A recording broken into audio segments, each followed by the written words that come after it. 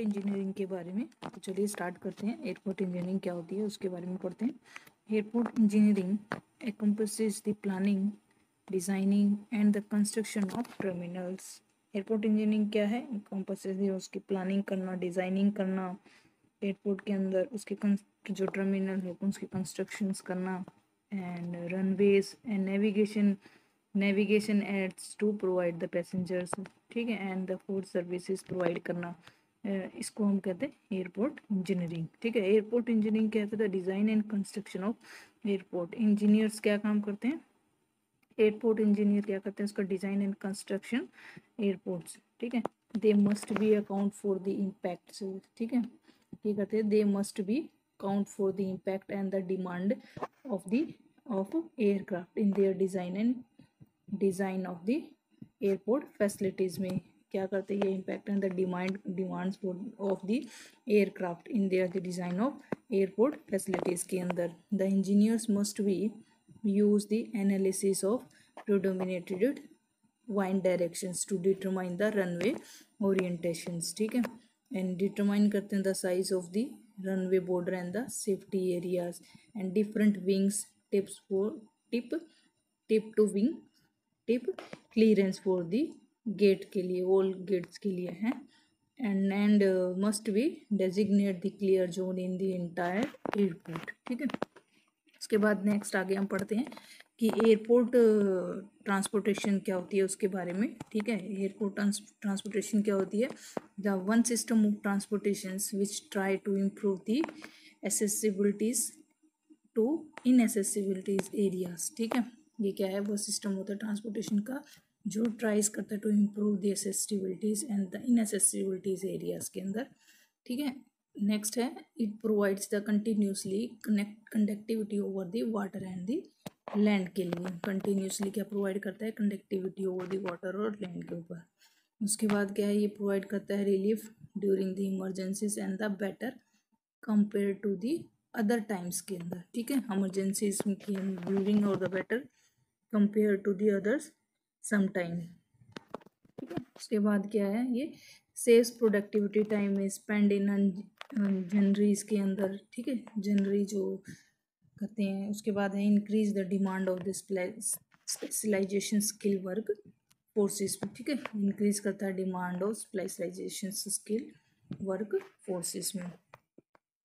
Next है transportation क्या air transportation में क्या आता है? हेल्प द टूरिज़्म की हेल्प करता है generate the forces reserves reserves ठीक है? उसके बाद रिक्वायर्ड होता है heavy fund during the provisions and the maintenance के लिए required heavy funds and during the provision provision and the maintenance उसके बाद है highly dependent on the weather conditions as compare to others mode में, ठीक है? इसके ऊपर डिपेंड करता है हैवली वेदर की कंडीशन है और एज कंपेयर अदर मोड की कंपेयर में। उसके बाद है required highly so so specificated specificated machineries required होती हैं। उसके बाद aid to provide outer outward flow for the force in exchange के लिए, ठीक है? जिसके अंदर हम कोई इक्विपमेंट वगैरह परचेज करना है या एयर बसेज एक्सेट्रा परचेज करनी हो। उसके बाद है the safety provision are not educated ठीक है, उसके बाद प्रोवाइड करते जैसे कि प्रोवाइडिंग के लिए so support system during the flight as on flight is a complicated ठीक है? ड्यूरिंग तब स्पोर्ट सिस्टम प्रोवाइड करते हैं सेफली ताकि हमारे जो फ़्लाइट के टाइम कॉम्प्लिकेटेड हो उस टाइमिंग में।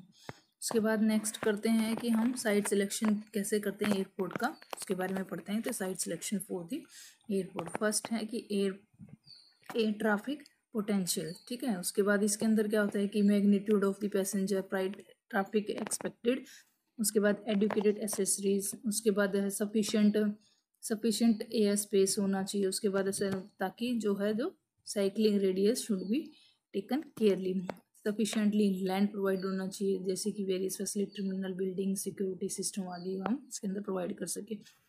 इनके अंदर ब्रीफ में हम आगे पढ़ेंगे। नेक्स्ट है automatic atmospheric and the metrological conditions ठीक है?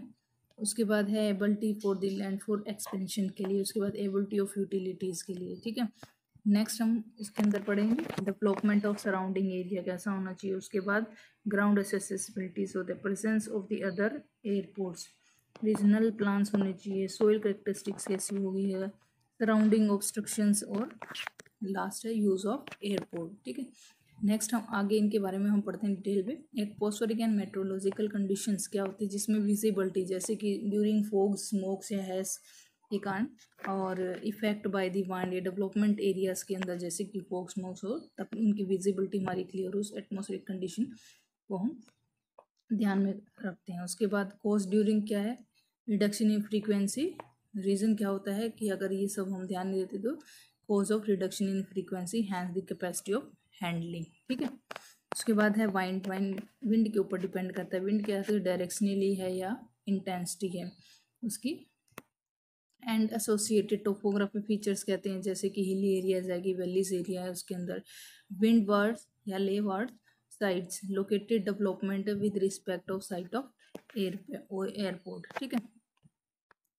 उसके बाद है नेक्स्ट है ability of the land for the expansion इसके अंदर क्या है the future predictions of air traffic क्या होता है, जैसे कि लैंड फॉर पार्किंग व्हीकल्स के लिए प्रोवाइड करना प्रोवाइडिंग फैसिलिटीज़ ठीक है? Land cost at later of stage के बाद क्या होगी? लैंड की कॉस्ट उसके बाद ability of the land at later stage उसकी एबिलिटी क्या हो, ठीक है? अवेलेबिलिटी क्या होगी लैंड एट लेटर स्टेज पे? उसके बाद नेक्स्ट हम पढ़ते हैं एबिलिटी ऑफ़ द यूटिलिटीज़ क्या है, इसके अंदर यूटिलिटीज़ में क्या आता है कि जैसे कि वाटर हुआ पावर हुआ एक्सेट्रा सीवरेज है communication skill extra this type of the इसके अंदर आता है कि एवेबिलिटी ऑफ़ यूटिलिटीज़ प्रॉपर होनी होनी चाहिए वहाँ पे डेवलपमेंट ऑफ़ सराउंडिंग एरियाज़ कि हम जहाँ पे एयरपोर्ट बना रहे हैं, वो डेवलपमेंट में होगी कि नहीं? मीन्स की रेजिडेंशियल एंड सेंसिटिव एरिया है या कैसा है? उसके बाद इंडस्ट्रियल डेवलपमेंट, जिसके अंदर हम पढ़ेंगे कि हाइट क्या होनी चाहिए डेवलपमेंट में जोनिंग लास क्या होनी चाहिए उसके बाद में, उसके नॉइस पोल्यूशन हम उसका वहाँ आगे चेक करते हैं मोमेंट ऑफ़ एरिया पोल्यूशन कैसा है बर्ड्स या हीटिंग एट द इंजन्स ये दिस टाइप ये हम सब चीज़ें देखते हैं कि साइट सिलेक्शन करने के लिए जहाँ पे हमें एयरपोर्ट बनाना है।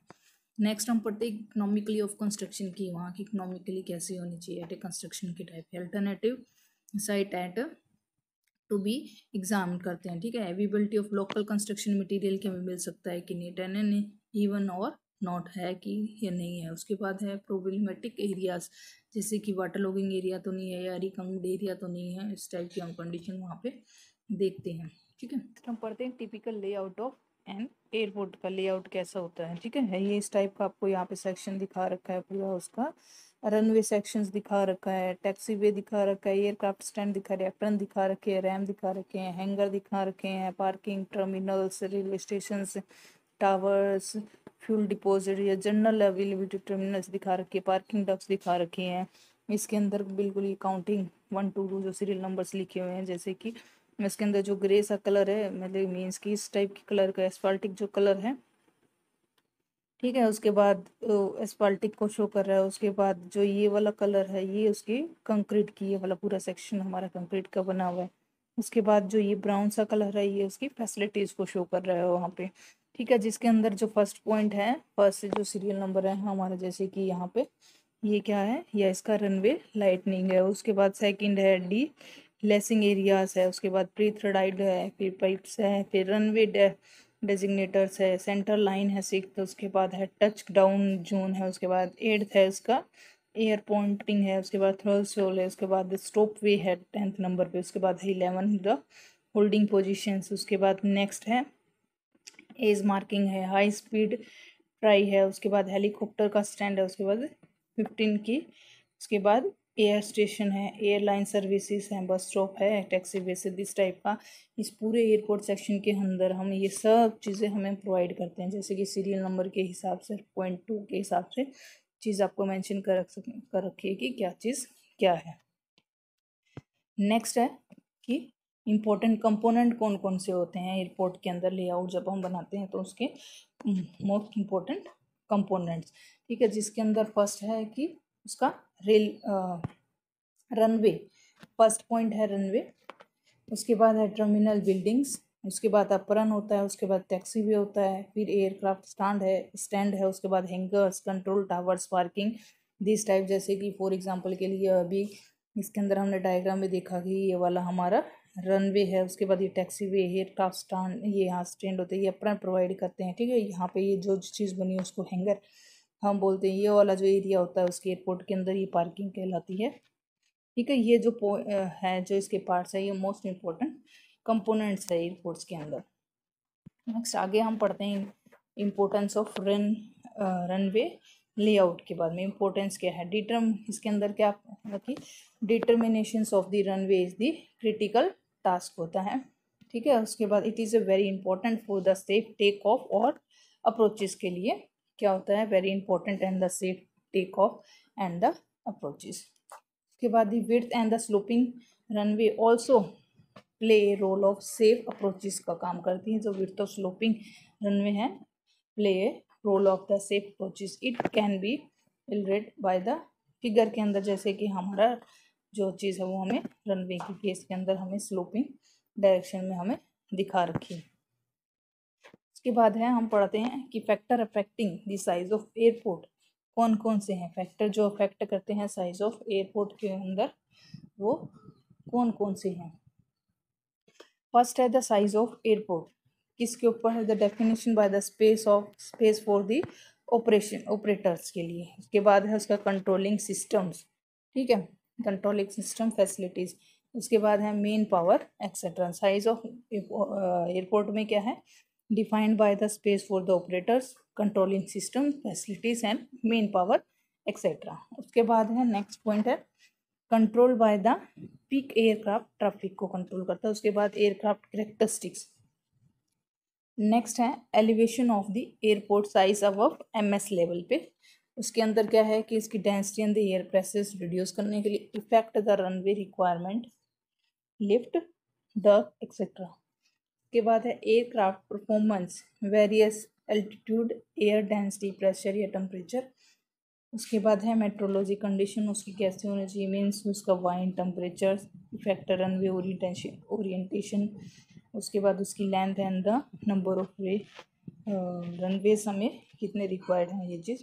नेक्स्ट है उसकी परफॉर्मेंस करेक्टरिस्टिक्स ऑफ़ एयरक्राफ्ट उसके बाद है next volume of air traffic, जैसे कि पीक हावर वॉल्यूम के पीक टाइम के टाइमिंग में वॉल्यूम ऑफ़ एयर ट्रैफ़िक क्या है? साइज़ ऑफ़ एयरक्राफ्ट क्या है? Nature of air traffic runway taxi way this type of the हमारे फैक्टर्स हैं जो हमारे साइज़ ऑफ़ एयरपोर्ट के ऊपर इफ़ेक्ट डालते हैं। मीन्स की साइज़ ऑफ़ एयरपोर्ट एलिवेशन क्या है? उसका मेट्रोलॉजी कंडीशंस कैसे हैं? जैसे कि वाइन टेम्परेचर उस टाइप के ऊपर भी फैक्टर जो इफ़ेक्ट डालते हैं। करेक्टर्स एयरक्राफ्ट की परफॉर्मेंस कैसी है? वॉल्यूम ऑफ़ एयर ट्रैफ़िक उस टाइमिंग में क्या है? जो ये सब जो फैक्टर्स हैं हमारे अफेक्ट डालते हैं साइज़ ऑफ़ एयरपोर्ट पे। नेक्स्ट हम पढ़ेंगे airport are classified into different type उसके टाइप ऑफ़ एयरपोर्ट्स की क्या है? उसकी क्लासीफाई क्लासिफिकेशन हम पढ़ेंगे। फ़र्स्ट किसके ऊपर बेस्ड होती है हमारी एयरपोर्ट की classification based on the take off और लैंडिंग के ऊपर। उसकी लैंडिंग कैसी होती है? टेक ऑफ़ कहती है, उसके ऊपर बेस्ड है। Classification next second classification based on है एयरक्राफ्ट अप्रोचेस स्पीड के ऊपर, ठीक है? नेक्स्ट है कि बेस्ड ऑन फ़ंक्शंस के ऊपर, उसके बाद नेक्स्ट है उसकी बेस्ड ऑन जियोमेट्रिक डिज़ाइनिंग कैसी है उसके ऊपर क्लासिफिकेशन डिपेंड करती है। उसके बाद based on the aircraft wheel characteristics के ऊपर डिपेंडेड है। उसके बाद नेक्स्ट हम आगे इनके बारे में डिटेलिंग में पढ़ते हैं। और फ़र्स्ट है कि based on the take off and landing कि हमारी कैसी होती है, उसकी टेक ऑफ़ और landing aircraft can have different way to take off और एंड लैंडिंग जो हमारा एयरक्राफ्ट है, वो डिफरेंट तरीके से टेक ऑफ़ करता है और लैंडिंग करता है. Conventionally airplanes and the accelerate along the ground until sufficiently lift is generated for the take off. ठीक है? क्या है? कन्वेंसली जो एयर प्लान्स है, वो असिलरेट दी along the ground until तब तक जब तक sufficiently lift is generated for the take off and the receive the process receiving process to the landing के लिए क्या है? The some airplanes can be take off at a low speed this bringing a short take off ठीक है, जिसके अंदर first है conventionally take off and the landing airport के अंदर कि रनवे की जो हमारी लेंथ है वो कितनी होनी चाहिए? One thousand five hundred metre next है reduce take off and the landing of airport कितनी है? था, इसके अंदर रनिंग वे उस उस कंडीशन में हमारी जो लेंथ कितनी होनी चाहिए? थाउज़ेंड से लेके से लेके one hundred one thousand five hundred metre तक होनी चाहिए। उसके बाद शॉर्ट टेक ऑफ़ और जो लैंडिंग हम करते हैं, वो कितनी होनी चाहिए, जिसकी रनवे की लेंथ होनी चाहिए फाइव हंड्रेड से थाउज़ेंड मीटर तक।